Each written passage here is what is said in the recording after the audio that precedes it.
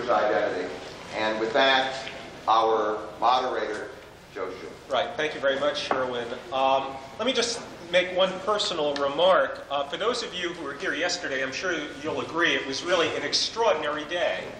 I think it was extremely informative and not only educational, but edifying. I think we were all uplifted as a result of the exchange of ideas and being here together. I really think it was marvelous. And the experience continues today. As Sherwin mentioned, we're going to be dealing with the pivotal question upon which all else depends, and that is the question, why be Jewish? Um, our speaker this morning is Professor Joel Feinberg, and let me briefly introduce him. Um, Dr. Feinberg is local and loyal to the Detroit area. He, um, his loyalty was manifest in the fact that he was born in Detroit. Um, and he was educated at the University of Michigan, where he got not, received not only his BA and his MA, but his PhD. Uh, since then, Dr. Feinberg had held appointments at Brown University, at Princeton, and at UCLA, and the Rockefeller University before becoming Professor Emeritus of Philosophy and Law at the University of Arizona. He has held editorial positions on numerous journals in philosophy and law, with current positions on the journal Legal Theory and Bioethica. Recent fellowships have included the Rockefeller Foundation's Humanities Fellowship and the Romanell Phi Beta Kappa Professorship in Philosophy. He's received several academic prizes, including the first biennial Fred Berger Memorial Prize. And he's extremely prolific. He has written over 100 publications, including The Constitutional Relevance of Moral Rights, um, an article titled Not With My Tax Money, The Problem of Justifying Government Subsidies for the Arts, an ongoing debate, and Dilemmas of Judges Who Must Interpret Immoral Laws. He is also the editor of a four-volume work, The Moral Limits of the Criminal Law. Join me in welcoming Dr. Joel Feinberg.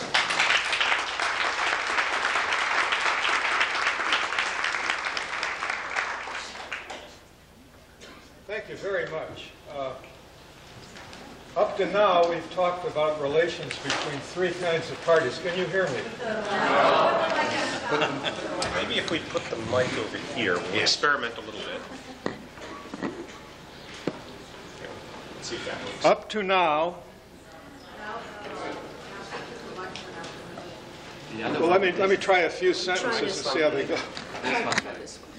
This is different.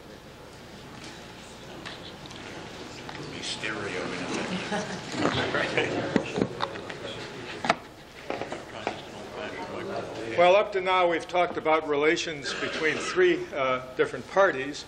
One, an abstract hypothetical party called the non-affiliated Jew. Two, uh, an ethnic group, namely the Jews, from whom the non-affiliated Jew comes. And three, the broader national community, which absorbs not only this group, but other ethnic groups too.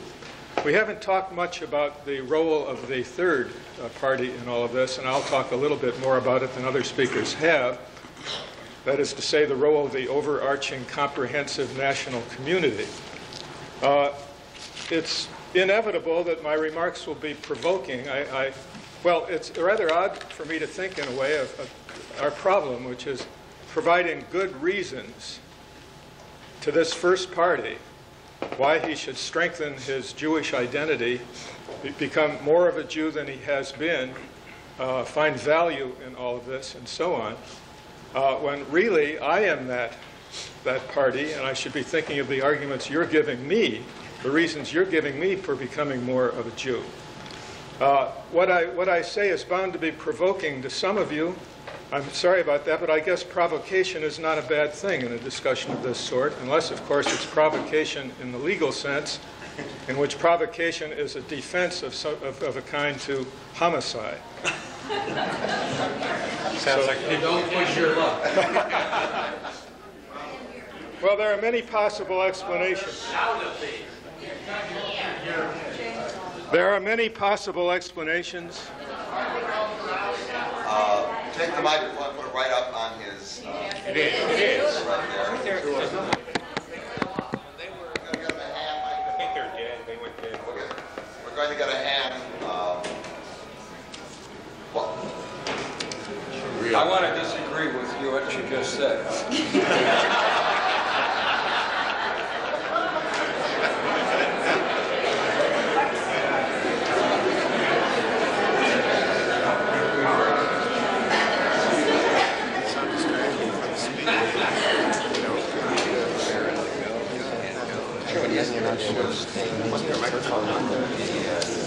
there's one right on. I know, but they're, apparently they're.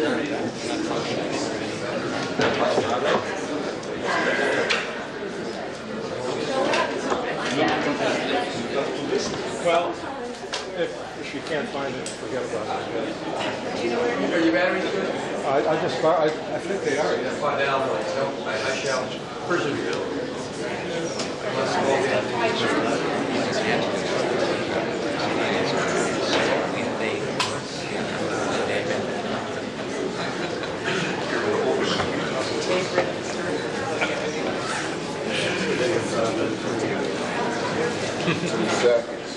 Sure. I was in the, in the process of apologizing for remarks that are bound to be provoking, uh, while uh, on the other hand, thinking of provocation as something that might be useful in a discussion of this sort, unless, of course, it's provocation in the legal sense, uh, which is a kind of defense to homicide. That was, that was the falsehood, now I shall see it approach truth. But, uh, I have uh, handouts for you, which you'll find in your folder, including an outline of this talk. The main point of that outline will be for me to mention sections that have been deleted entirely, so that you won't find it too incoherent. There are many possible explanations why ethnic Jews might be unaffiliated with a synagogue or a temple. Perhaps affiliation would be inconvenient or expensive. Perhaps their parents never got them started in the first place, so that they never were affiliated. On the other hand, some, some others voluntarily resign from their synagogues or temples in a state of dissatisfaction at what goes on there, including collective affirmation of theological doctrines they cannot accept. To keep these two types of motivation separate, I propose that we substitute the word disaffiliated for the more generic term unaffiliated. Then we can say that the disaffiliated person is unaffiliated for one kind of reason only, namely a dissatisfaction with something properly called religious. One example of religious dissatisfaction I have already mentioned, namely, namely disbelief of theological doctrine. I myself, insofar as I question some traditional theological teachings, may resemble some of these disaffiliated Jews. And I do have difficulty accepting certain traditional doctrines about God, the soul, free will, sin, and immortality. But if but if unhappiness with theological underpinnings and rigid taboos is the one and only one reason, the one and only one reason disaffiliated Jews ever sever their ties to their congregation, then there cannot be many of them. It is a mistake, I think, to assume that philosophical disagreement with traditional doctrines means that much to members in good standing of religious congregations. Most of them find their own ways to be religious without theology. Consequently, many people may doubt or reject theological dogmas and remain content with the religious institution that imparts them. Alternatively, one can accept theological teachings, yet sever connections for other reasons. The rabbi's sermons are too political, or too conservative, or too radical. These are no religious reasons at all. If one resigns because the rabbi is too boring to tap the full emotional potential of religious ceremonies, or irritates one by mispronouncing the Hebrew, then in a sense, the reasons for dissatisfaction are religious, though they have nothing to do with theology. Disaffiliated Jews are a diverse lot, as diverse as the various reasons they might give for becoming unaffiliated. Some of them are orthodox or standard believers of an automatic kind. They do not doubt the formal teaching, but are moved by one of the world's strongest motives in act to action, namely simple boredom. They may explain why they never go to religious services by claiming that such services are boring and that religion in general, though the object of their respect, is just not a big thing in their lives. Or they may think of Judaism as a collection of stories with moral content, calling for literary criticism rather than philosophical analysis. These stories, compared with those in other religions, would be better or worse. That is, our stories would be better or worse than their stories, not truer or falser.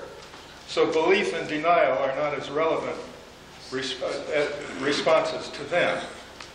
And then, of course, there are the High Holy Day Jews, whom we talked about last time, uh, yesterday, who, like World Series type of baseball fans, restrict their interest to the season's climax.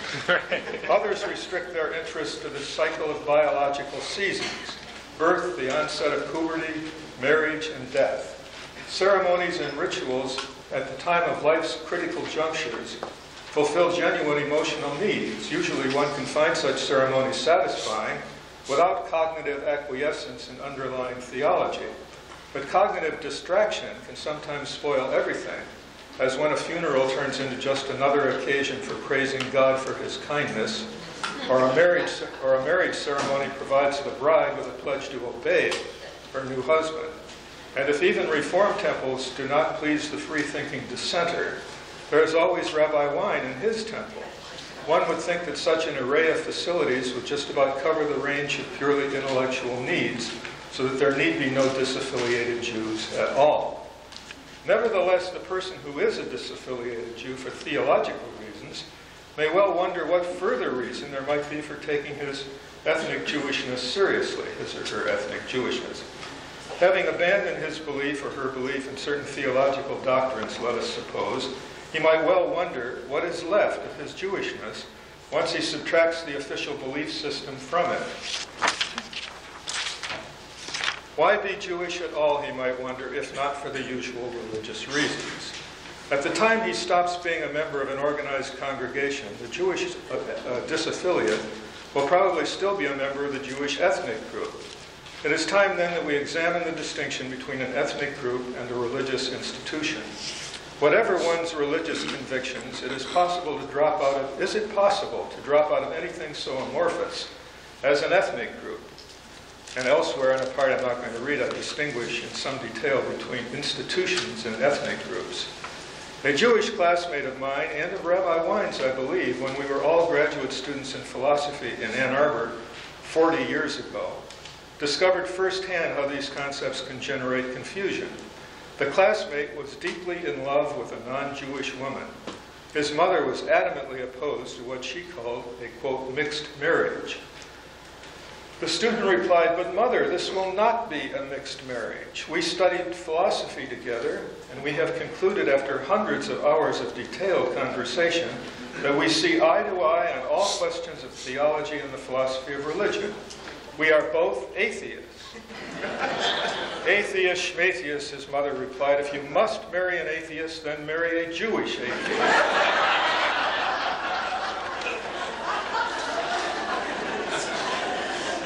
Some of you may find the phrase Jewish atheist linguistically odd. You, you might compare it you might compare it, for example, with the statement if you must marry a Catholic, then at least marry a Protestant Catholic, said by an outraged Protestant parent, say in Belfast. Or if you must marry a Christian, then marry a Buddhist Christian, said by an outraged Buddhist parent. No one can find a Buddhist Christian, of course, because there aren't any. And the reason why there are none is that there are central doctrines in the two faiths that contradict one another. For a person to hold both would be for her to believe a logical contradiction. Jewish atheist, a logical contradiction, sorry, period. Jewish atheist escapes the contradiction because the word Jewish is ambiguous. In one sense, it refers to a religion, and in the other sense, to an ethnic group. This, of course, is quite familiar to all of you, discussed in detail yesterday. So we can interpret uh, Jewish atheist in such a way that it does not stand for a contradiction.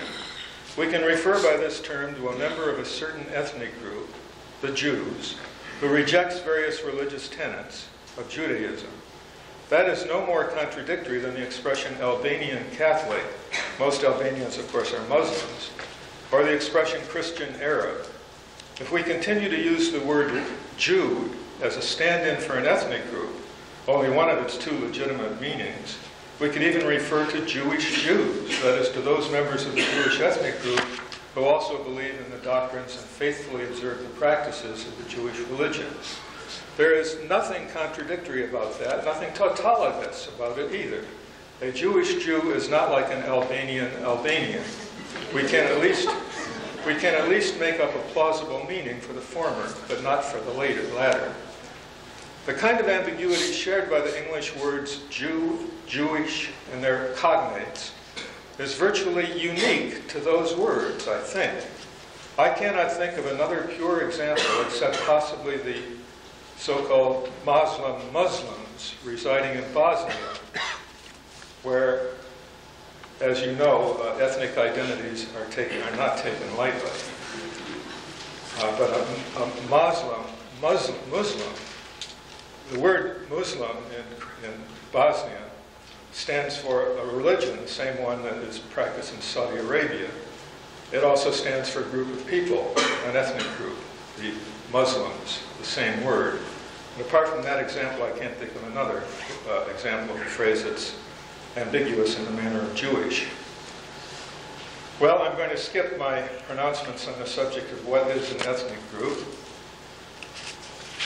I recommend an elementary text in anthropology or sociology. Uh,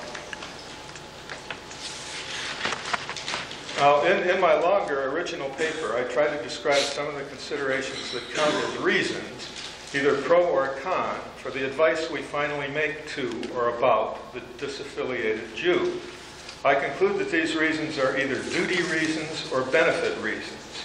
If we talk about restoring meaning and a sense of connectedness to individual human lives, and the sense of belonging, and the sense of having roots, and all of that, we are mentioning what we think are benefits to the disaffiliated Jew we are addressing. If we cite the richness of Jewish civilization, we are mentioning benefits for the whole world.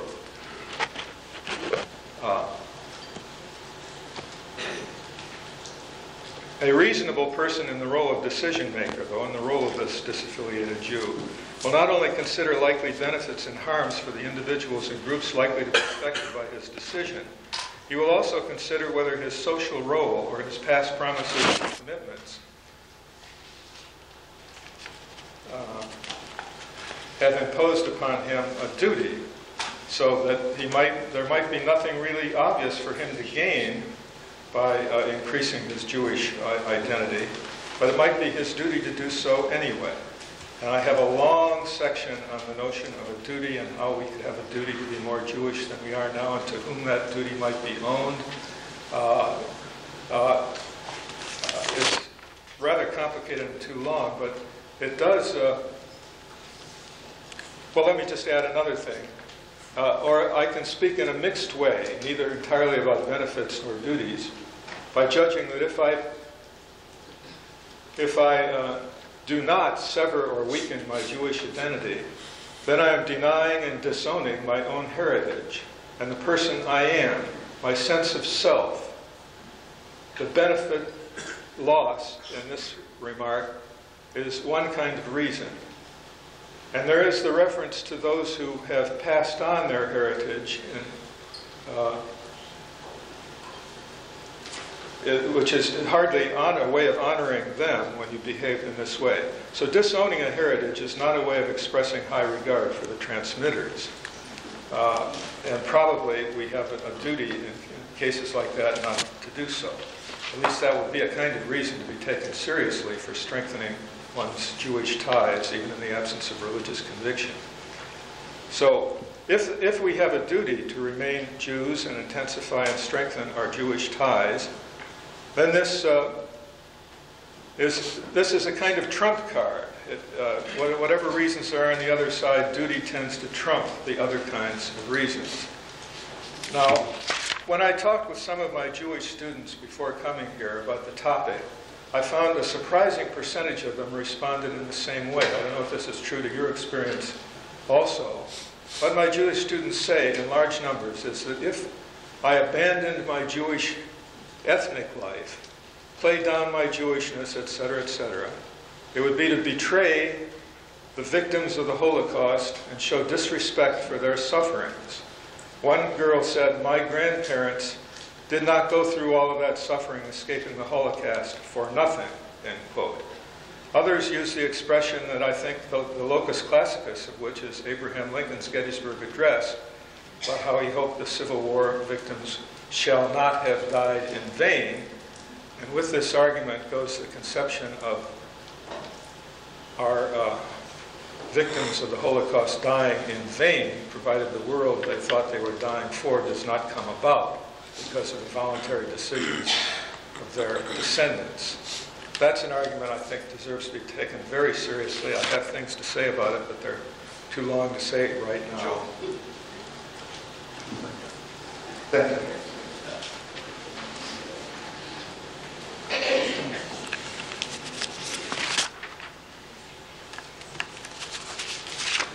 The silence you hear is not the microphone's fault, it's mine. I recognize it. Yeah, okay. Now, uh, what, I, what I think I've been talking about up to now is the kinds of considerations, the kinds of considerations that count as reasons uh, in this discussion. And there are at least two kinds, the duty reason and the benefit reason. They're not necessarily at one another's throats. They're, they're capable of coexisting, uh, although one of them tends to trump the other when they conflict. Now, uh, now I want to turn to the discussion as it takes place in the wider uh, con- congregation of our, our country as a whole. Look at the way the debate has gone on there where people talk about such things as separation, assimilation, integration, relations with other groups and Jews, relations with comprehensive national community, and so on, and coin various terms that insult one another in the debate of these matters. That's what I'm turning to now, on the assumption that we've at least got some vague acquaintance now with what counts as a reason. In the course of discussing these issues thoroughly, American Jews have even invented their own vocabulary for describing the views of Jews who differ from them. Those who advocate more open and cooperative association with non Jews are frequently called assimilationists by their opponents.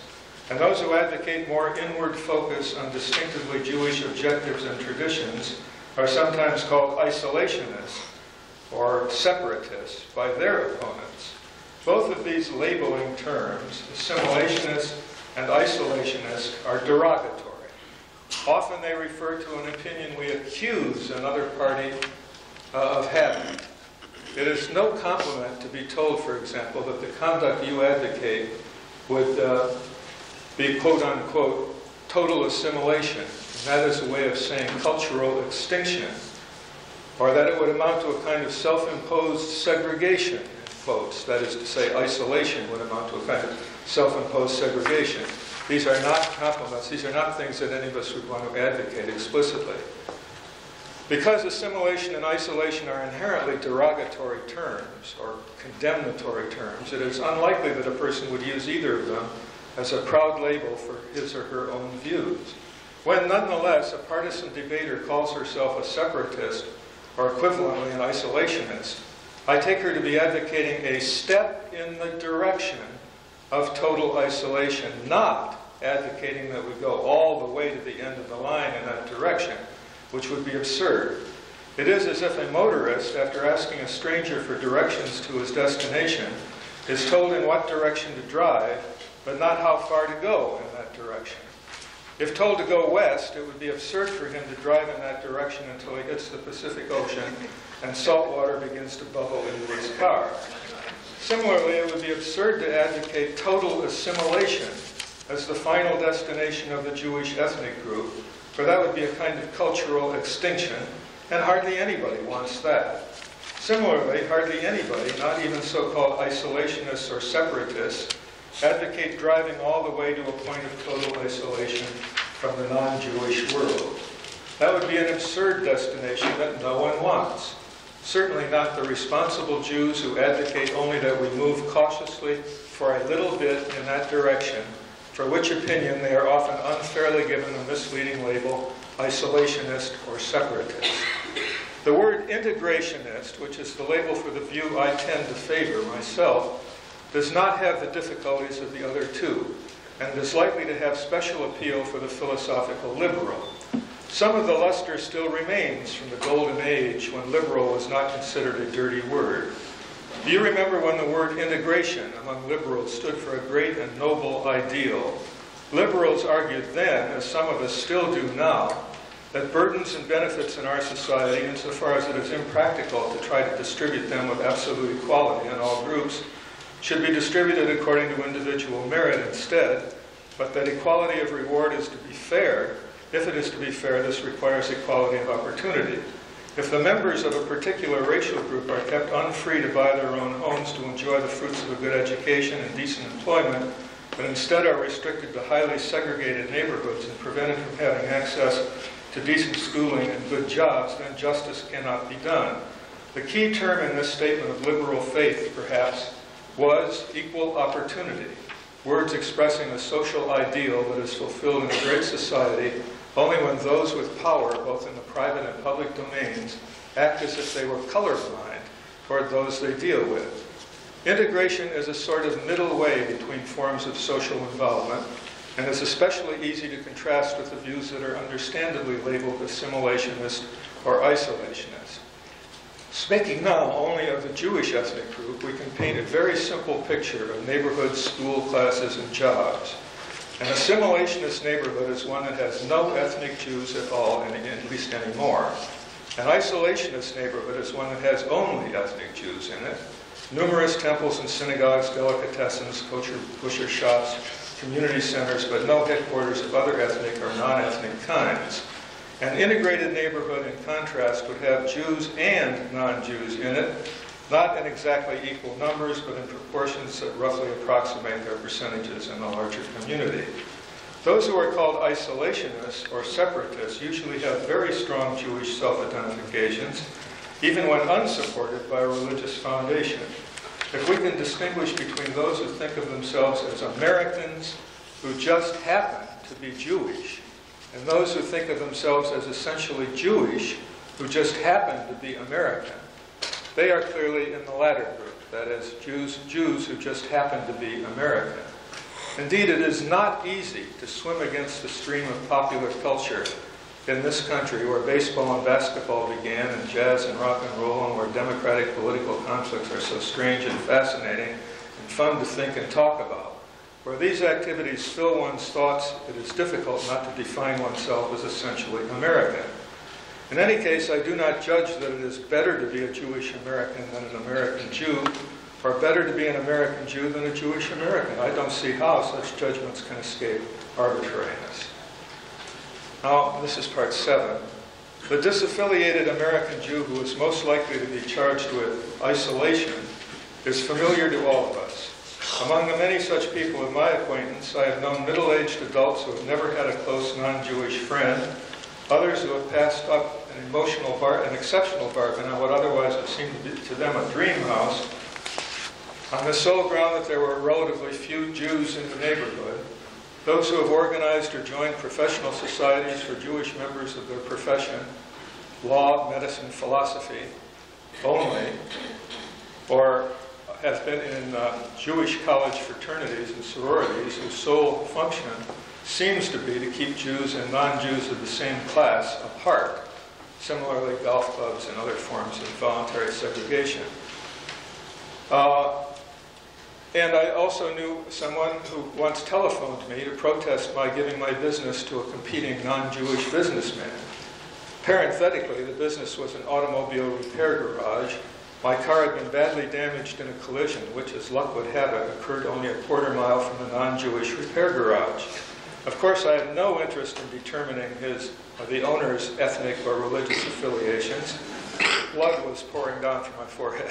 My, my attention was elsewhere. Besides, I was, quote, ethnic blind as a matter of liberal conviction.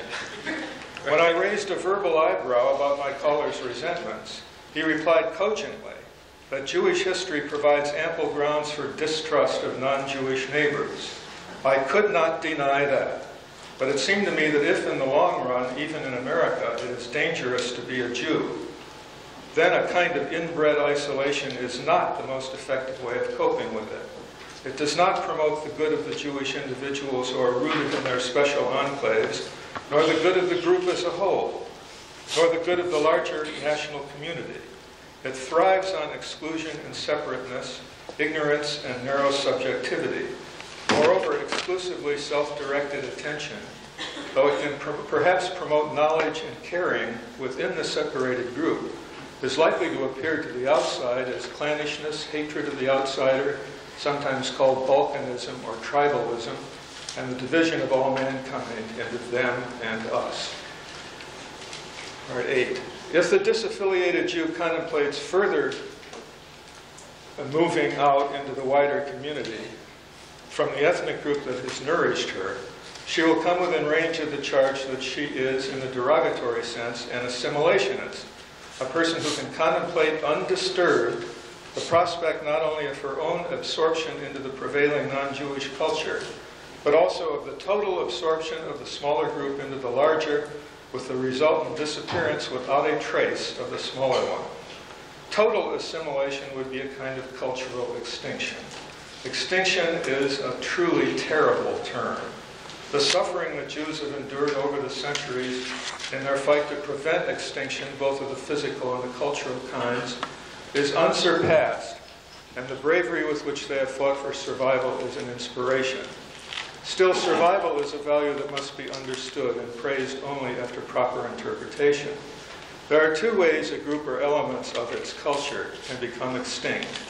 One is the consequence of deliberate violence by its enemies, acting with the conscious intention of committing genocide. Our 20th century experience with such madness is still too fresh to be discussed without pain and outrage. The second mode of disappearance is neither tragic nor outrageous. At most, it is an appropriate occasion for shoulder shrugging sadness. Some historians tell us that a once flourishing Jewish ethnic group in China has been, figuratively speaking, killed by kindness from a continued community, uh, from a contented community which may once have numbered several hundred thousands. The Jews began to disappear from Chinese life, though they were neither killed off nor forcibly converted. Rather, they were absorbed biologically and culturally in a slow but inexorable process. Today, only a few hundred are left, and they are descendants of later arrivals. This, the isolationist argues against the person he is likely to call the assimilationist, is what can come of, a, of Jewish departures from their own ethnic enclaves. It is to them, quote unquote, the assimilationist nightmare. Sometimes extinction comes to human groups and their works by a process that is altogether different from forceful genocide. And this, I think, makes a more accurate model of, of any present danger. Something akin to biological evolution leads to a steady accumulation of small changes. The changes are gradual, not abrupt, but they can nonetheless produce, in time, extreme changes in the characteristics that unite a random collection of animals into a species. No one kills off the earlier characteristics and replaces them deliberately with the new. Rather, the old set of characteristics, step by step, evolves into the new, every element of the change being voluntary and free of force. The group now, after several million years of these natural changes, has a different look about look. But no single individual has undergone abrupt and thorough change in his own person.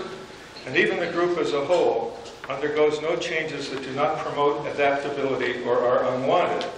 In fact, it is misleading to say that any group in evolutionary change has become extinct and then replaced by another one. Perhaps it is less misleading to say simply that the group or the species is still there, but much changed. Eohippus is now called horse and is much changed from its earlier ancestor. But in that long evolution from Eohippus to horse, no group was abruptly or cruelly extinguished. I think it is entirely arbitrary in this case whether we say that the early species is still here but very radically changed, or we say that Eohippus is gone and replaced through the process of continuous accretions into something new. There is a strong contrast here with the abrupt disappearance of the dinosaurs in the Cretaceous period and that of the Bengal tiger occurring right now with obscene rapidity. For another example of innocuous evolutionary transformations, we can leave the biological for the linguistic world, where we can observe evidence of the steady change and even eventual disappearance of a natural language. Again, we- can talk about linguicide, uh, again, if we want. Again, we might have a choice in describing this process between saying that an ancient language has gradually become extinct to be replaced by a new and different language, or we can say that no language in this history becomes extinct, but that they do become drastically different. But in general, the greater the continuity of linguistic change, the more likely we are to think of the subject of the changes, say the English language, as having survived the changes it underwent. Here the descriptive linguist, and I quote, Words are constantly being created and continually passing out of active use to be preserved in literature, which is dated by their very presence. Even the most familiar and commonly used words, which might be expected to be most stable, have a mortality rate of about 20% in a thousand years, unquote. Any natural language, according to this formula, will change its entire vocabulary in 5,000 years.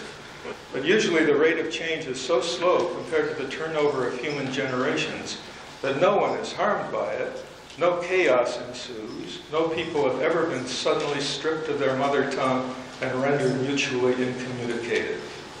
If there is a danger that ethnic customs, cuisine, games, stories, literature from folklore to high poetry, all of that might suddenly be destroyed all because of natural linguistic evolution, and moreover, if there were a danger that not only the language, but the individual human beings that make up any given ethnic group might abruptly disappear, this would certainly constitute an embarrassment for my views. Can you imagine it? Suddenly there is no more exclusively Jewish religious institutions, no more Jewish professional societies, no more distinctively Jewish tastes represented in the marketplaces. Where did they all go, people ask? Have they all been arrested and shot? Have they been shipped to Siberia? The answer you then learn is that the ethnic individuals and the groups they make up are still here. They are simply not very ethnic anymore. By a huge coincidence, bagels have been losing their popularity, and similarly lox and cream cheese. Six months later, however, bagels have been replaced by a new kind of roll invented by a Jewish baker, a roll that is similar to a bagel but not identical with one. The new kind of roll is so popular it replaces bagels in the public taste, even while at the same time the cost of making them becomes substantially less than the old bagel's production costs. The old bagels then become steadily less available until they are gone and forgotten decades later. Would this death of the bagels be a tragedy? I think not.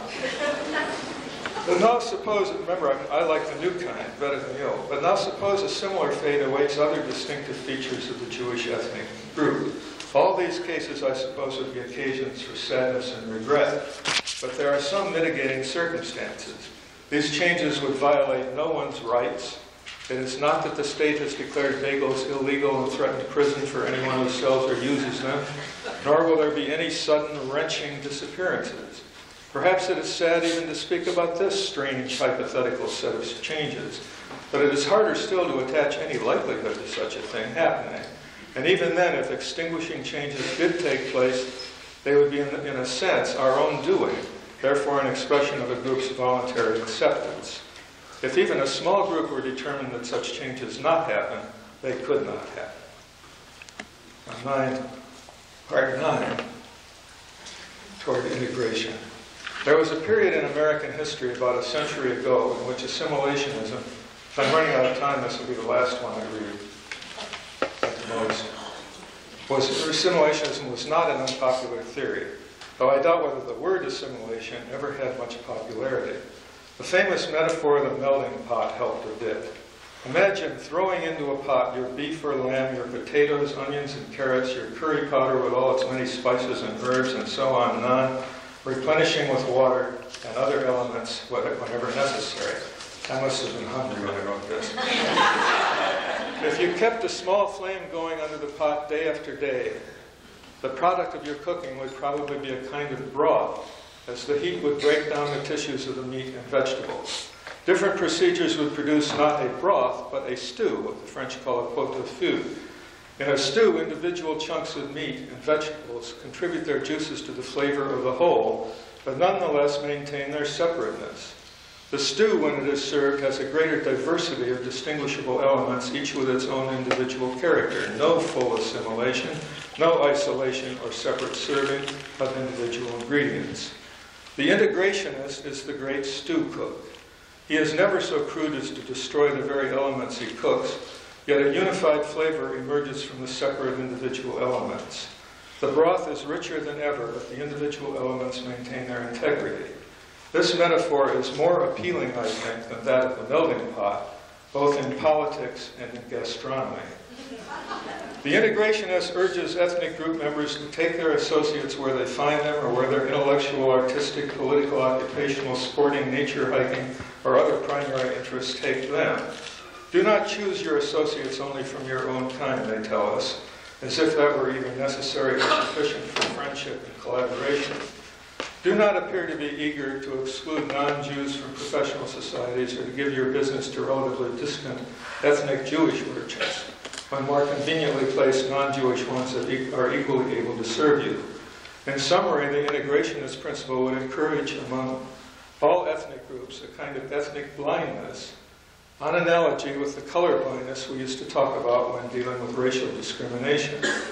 The integrationist is in a position to borrow arguments from the isolationist and assimilationist, the ones they use against one another, as well as the more positive arguments used by traditional philosophical liberalism. Against the isolationist, for example, he employs with special enthusiasm the liberal case for diversity. He admits that where there is little political freedom, relative isolation of an ethnic group can produce strength, and strength makes survival possible. But there is, where there is freedom, isolation loses this function. Jewish isolation in a democracy helps preserve rather than dispel vicious illusions about the Jews. If we deprive non Jews of Jewish associations, we foster Gentile ignorance about Jews, and ignorance, which I think is astonishing, and ignorance leads directly to bias. On the social plane, it is isolation and ignorance, not familiarity, that breeds contempt. That was a nice last sentence to wrap up.